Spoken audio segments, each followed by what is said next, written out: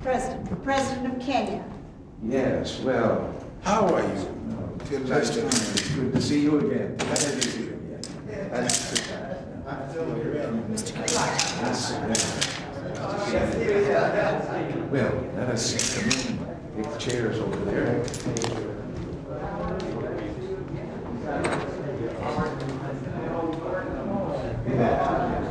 We'll have to uh, just uh, phone talk to get out the three waves of cameras and photographers, including your own press. But um, my daughter, Maureen, Yes, I was. she told me, met uh, in um, yes, she expressed her great appreciation for coming over and helping. And she really, really wanted to carry to women conference. Very important. Well, she had a wonderful time, came home talking about you, I said. Thank you. Ah, she's, she has the knowledge. She has knowledge.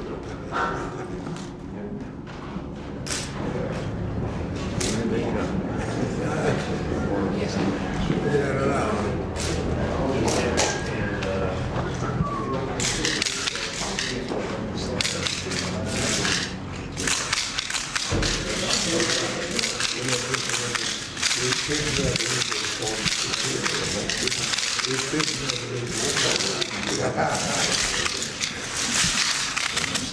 Some weeks ago.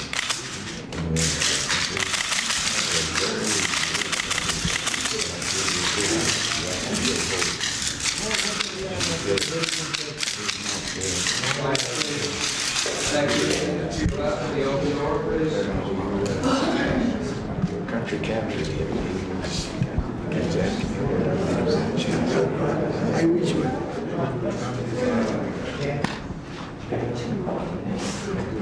Now, this next group will have some reporters. They'll try to ask questions and I'll refuse to answer.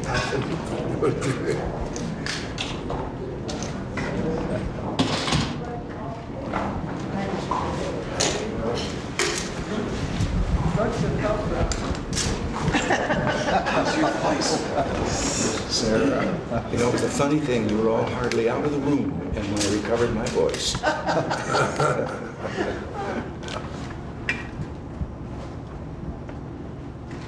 So you're in good voice today? Oh, yes. Well, what about Well, still Senator not- still not Nelson's taking any contention questions. about the ABM treaty being, uh, being uh, researched intellectually dishonestly by the administration? Uh, No, no questions. Will you take questions at a news conference soon? We We're talking about that. Next week? Uh, I think there'll be an announcement when we finally decide it. What, exactly. what's holding things up? Just a busy schedule. Sir, have you saved enough money to pay for your long-term health care after catastrophic illness limit's over? You know, this catastrophic illness doesn't go very far, and, and you have to save a lot of private money for that. You may even have to sell your house to pay for it if you're like some people. That's why we're taking action on it. We haven't heard much about South Africa policy lately. Uh, What have you got to tell President Moi about that? We'll be having quite a wide-ranging discussion. Thank you. Did you talk about human rights? Human rights in case? We'll just just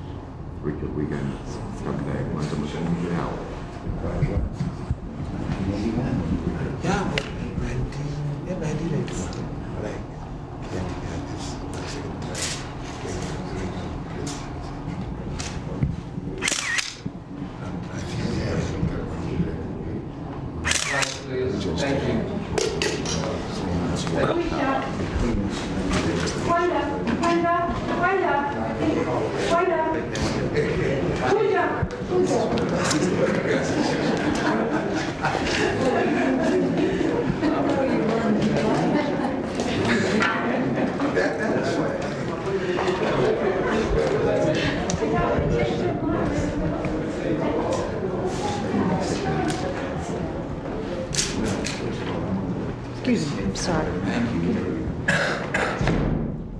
Thank you for your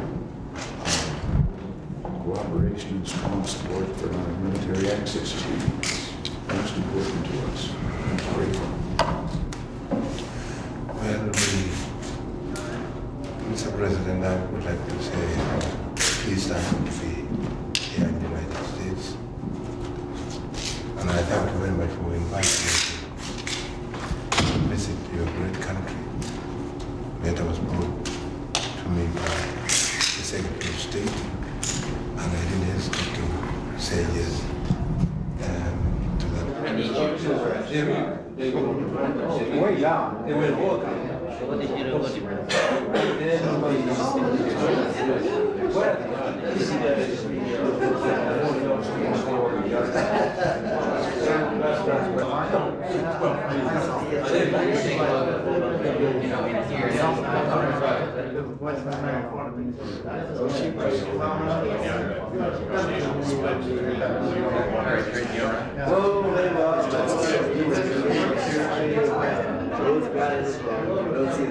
the rules of going.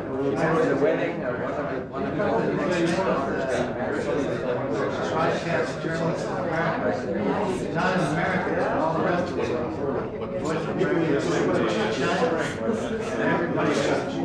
No, there's no, chance. there's no travel that I know of.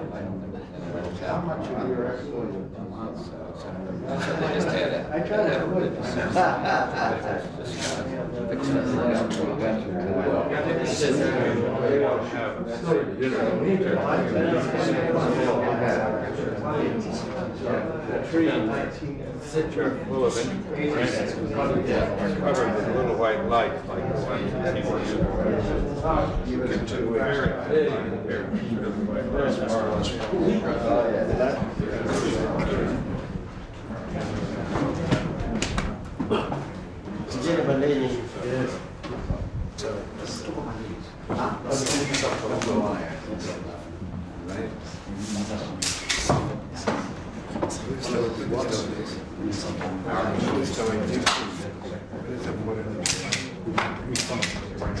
See you.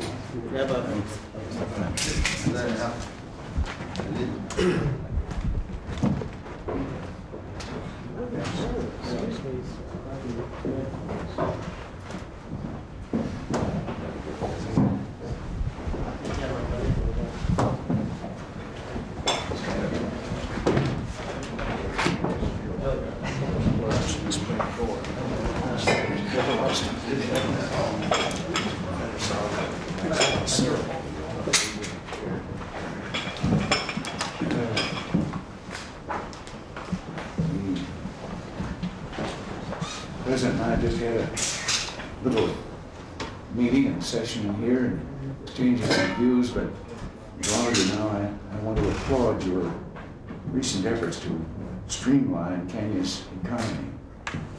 We believe firmly that the key to Kenya's economic growth lies in continued work to improve the climate for trade and foreign investment. And we want to help with that if we can. American business firms have always been very interested in Kenya, and I'm sure there's a potential for more investment. But I hear there may be problems with possibly some bureaucratic red tape. Well, we all have that on both sides of the, ocean. And Secretary Shultz may wish to speak to that since he was in your country recently, but we want to work with you to encourage private investment. Ambassador Constable is an expert on the subject, and I recommend that your senior people work with her to solve specific problems. I'm interested in hearing your analysis of the East African region situation. You touched upon that little bit in the other room. Your statesmanship has certainly been outstanding. We we highly approve of all that you've done. in the Sudan, I hope you do all you can to, to bring the two sides together for talks to end their civil war there. And in Uganda, we share your concern about Gaddafi's foothold there. But we hope in the interest of regional cooperation that you maintain good communications with President uh, Museveni. And uh, I've talked long enough now, I think you possibly have an agenda that you would like to touch upon.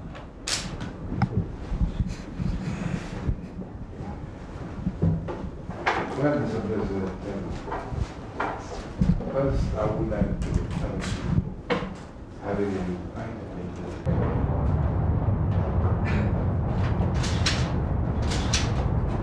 It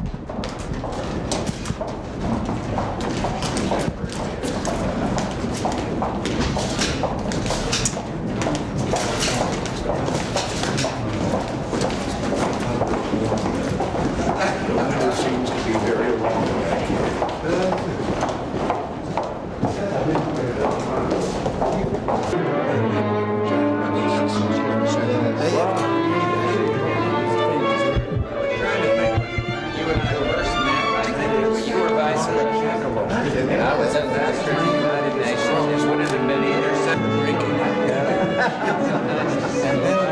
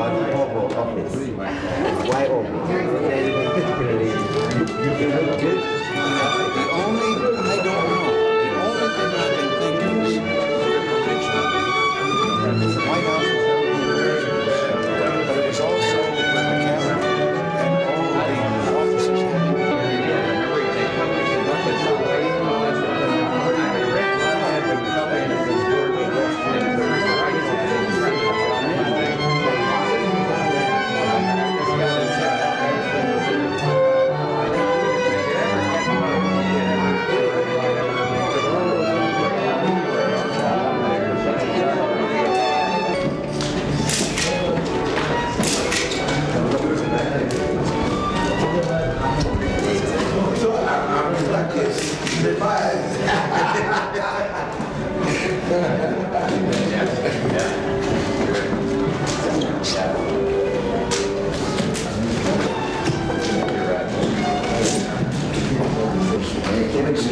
tell me what I'm going to do every day.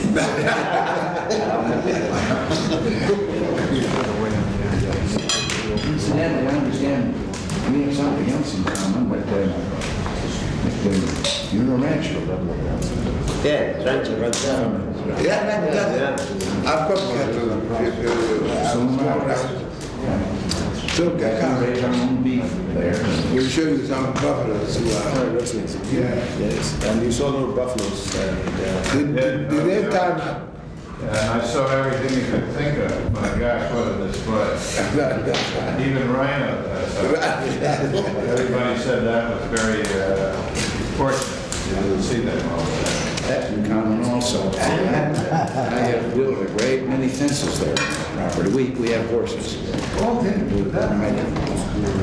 And uh, I designed the fence. The, our little ranch house uh, was built hundred and, hundred and four, hundred and fourteen years ago out of adobe uh, by the Lincoln Spaniards out there. And uh, I wanted some fences for our horses, and I didn't make the usual barbed wire. I mean, that's not good for horses. So I conceived and drew a picture, a fence made out of very heavy rails and posts and then these heavy rails. And I I thought the best place to get those were old telephone poles. And I called the company in California there.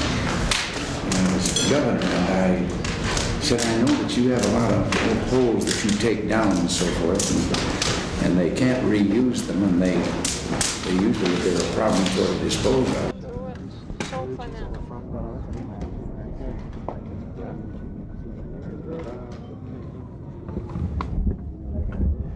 Stability. With an admirable sense of purpose, he has guided his people and country successfully through some very trying times. Probably no other nation in Africa, for example, handled the severe drought of 1984 as well as Kenya under President Moi's guiding hand. It was testimony of his. Bilaterally, our two countries have had exemplary relations. Our people share a commitment to the principles of representative government, private ownership, and individual freedom. I personally, mutual friendship and respect are healthy and vibrant. We are honored and pleased to have you here, President Moi. Thank you very much. Countries which have food sub surplus. We came to Washington to express our the mutual benefit of our two countries. Kenya is proud of its cooperation with the United States of America. Our discussions with President Reagan today many of giving incentives to farmers and agriculture assuming the highest priority it deserves. This is what has the values of human dignity our two countries cherish are being abused daily. An end to apartheid is ine- inevitable, and the sooner it comes. Thank you.